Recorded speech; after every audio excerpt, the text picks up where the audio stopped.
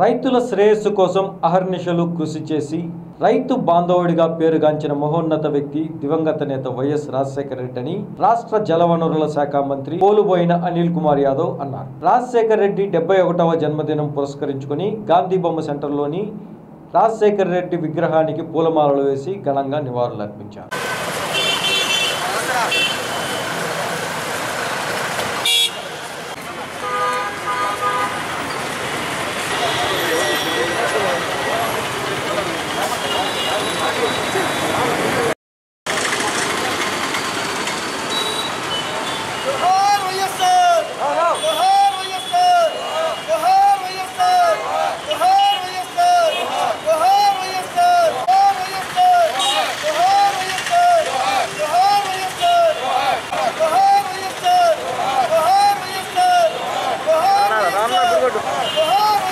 రాజశేఖర రెడ్డి గారి జయంతి సందర్భంగా ఆయనకి ఈరోజు ఘనమైన నివాళులు అర్పించడం జరిగింది. రాజశేఖర రెడ్డి గారు చనిపోయి దశాబ్దం దాటినప్పటికీ ఇప్పటికీ కూడా కోట్లాది మంది ఆంధ్రుల గుండెల్లో ఒక చెరగని ముద్ర. ఈరోజు ఆయనకు తనయుడిని జగన్మోహన్ రెడ్డి గారిని ఈరోజు ఈ రాష్ట్ర ప్రజలందరూ కూడా ముఖ్యమంత్రిని చేసుకొని రాజన్న పాలన తిరిగి వచ్చింది అని చెప్పి ఈరోజు ప్రతి ఒక్క రైతాంగం దగ్గర నుంచి ప్రతి ఒక్కరు కూడా ఈరోజు చూస్తూ ఉన్నాం. రాజశేఖర రెడ్డి గారు ఉన్నప్పుడు ఐదు సంవత్సరాలలో సంక్షేమం అలాగే రైతుల గురించి కానీ రాష్ట్ర భవిష్యత్తు ముందు తీసుకెళ్ళిన రాజన్న రాజ్యం ఎలా నడిచిందో ఆయన ఉన్నప్పుడు ఏ విధంగా వర్షాలు పుష్కలంగా పడి రైతాంగం కళ్ళల్లో ఆనందం ఏదైతే ఉన్నదో ఈరోజు ఆయన బిడ్డ జగన్మోహన్ రెడ్డి గారు వచ్చిన తర్వాత కూడా ప్రతి రైతు కూడా గత సంవత్సరం చూసాం. ఈ సంవత్సరం కూడా వర్షాలు కానీ ఈరోజు ఒక పుష్కలంగా ఉన్నాయి.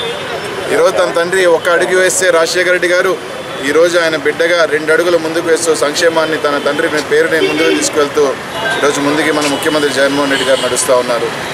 ఈరోజు ఏదైతే రాజశేఖర రెడ్డి గారు వదిలిన లెగసీని రాజశేఖర రెడ్డి గారు వదిలిన ఏదైతే ఆ సంక్షేమాన్ని దాదాపు దశాబ్దం కాలంగా అన్నీ ఆగిపోయిన ఈ రాష్ట్ర ప్రజలందరూ కూడా ఈరోజు ఆందోళనలో ఉంటే ఈరోజు మళ్ళీ తన బిడ్డ వచ్చి ఈరోజు ఎందుకంటే వన్ నాట్ ఎయిట్ ఒకప్పుడు అంబులెన్స్ అనేది లేకున్నప్పుడు వన్ నాట్ ఎయిట్ అనేది భారతదేశంలోనే మొట్టమొదటిగా తీసుకొచ్చి ఏ విధంగా ఆ రోజు వన్ నాట్ ఎయిట్ అంబులెన్స్ని ఎన్నో మంది ప్రాణాలు కాపాడిన వన్ నాట్ ఎయిట్ పది సంవత్సరాల తర్వాత దాదాపు వెయ్యిన్ని వన్ నాట్ ఎయిట్లు కానీ వన్ నాట్ ఫోర్లు కానీ ఈ టైంలో రిలీజ్ చేసి కరోనా టైంలో ఈరోజు రా దేశంలోనే ఒక కొత్త దీన్ని తీసుకొచ్చిన మన ముఖ్యమంత్రి ఆయన బిడ్డ రాజశేఖర రెడ్డి గారి బిడ్డ జగన్మోహన్ రెడ్డి గారిని కూడా చూసాం ఆరోగ్యశ్రీ కానీ అనేక పథకాలు.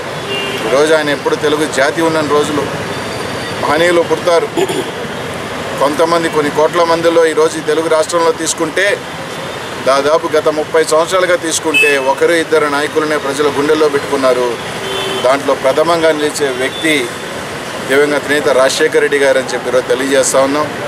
ఆయన చూపిన బాట ఆయన ఆశయాలను ముందుకు తీసుకెళ్తున్న ఆయన తనయుడు జగన్మోహన్ రెడ్డి గారి వెంట కోట్లాది మంది ప్రజలు కోట్లాది మంది ఆశీస్సులు ఆయన బిడ్డకి ఉన్నాయి. తప్పకుండా రాజశేఖర రెడ్డి గారి ఆశయాలను ముందుకు తీసుకెళ్తామని చెప్పి తెలియజేస్తా గారి జన్మదిన సందర్భంగా ఈరోజు వారు లేకపోయినా ఈ రాష్ట్రంలోని రైతాంగం మొత్తం ప్రతిరోజు కూడా ఒక్కసారైనా తలుచుకునేది పెద్దలు రాజశేఖర రెడ్డి గారి గురించి.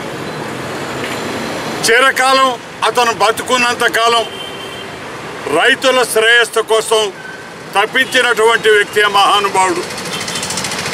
ఆయన అధికారంలో ఉండగా వ్యవసాయం దండగ కాదు పండగ అనే వాతావరణాన్ని ఈ రాష్ట్ర రైతాంగానికి తీసుకొచ్చినటువంటి సందర్భంలో ఆయన చేసిన కృషి ఒక మెట్టయితే ఆయన కుమారుడు ఈనాటి రాష్ట్ర నాయకులు జగన్మోహన్ రెడ్డి గారు తండ్రిని మించిన తనయుడిగా తొమ్మిది మెట్లు తయారు చేసే నవరత్నాల రూపంలో రైతుల్ని ఆనందంలో ఈరోజు మేము ప్రభుత్వం మొత్తం మీకు అండగా ఉంది అని చెప్పి ఒక భరోసా కలిగించినటువంటి జగన్మోహన్ రెడ్డి గారి కృత నిశ్చయం రైతుల పట్ల అతని పక్షపాతం రైతుల్ని ఆదుకోవాలనేటటువంటి అతని చిత్తశుద్ధి ఈరోజు తండ్రిని మించిన తనయుడిగా జగన్మోహన్ రెడ్డి గారిని చరిత్రలో సుస్థిరమైన స్థానం కల్పించింది అని చెప్పి నేను మనవి చేస్తూ